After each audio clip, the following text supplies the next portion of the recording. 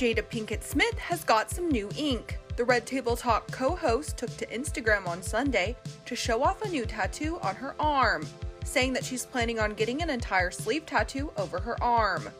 I always said I would get a sleeve at 60, but tomorrow is not promised. So I'm starting to build my sleeve now, repping the divine feminine journey within and without. Jai Ma, she captioned the snap.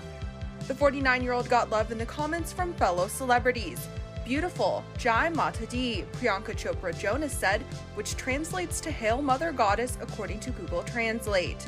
This isn't the first time Jada has gotten a tattoo. Back in May, she and her daughter Willow Smith, as well as mother Adrienne Banfield Norris, got together on Red Table Talk and all got matching tattoos. Jada posted about the experience at the time, revealing that getting inked sparked her interest in getting a sleeve.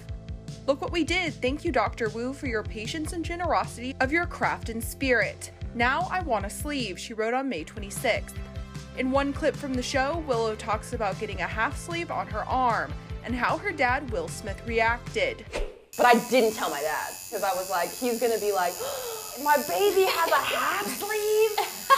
What? Don't and I knew he laugh. was gonna be like, what the hell? But he called me, it was like, I wanna say like two or three days after I had gotten it. And he was like, hey, I heard you got a tattoo.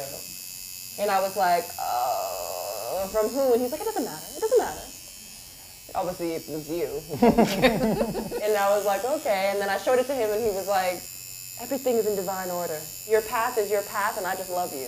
Yeah. And I'm glad that you got something that actually looks happy. nice. Yeah. and I was like, thank you.